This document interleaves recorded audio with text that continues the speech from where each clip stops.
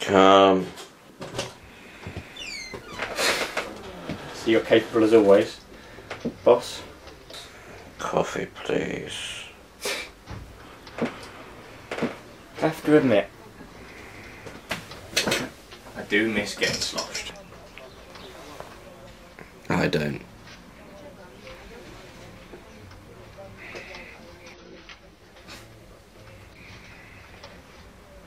So, was there something you came to tell me? Or did you just want to take the piss a bit more?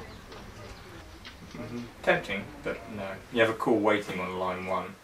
Mr. Big Boss wants his report by five. Okay. You ever met him? What? Mr. High and Mighty? No, never. Sure I will someday though. Alright. No, I see you.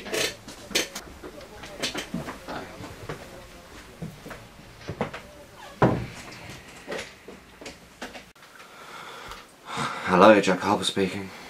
Jack, Carl? What's up? it's about Jonathan and Andrew.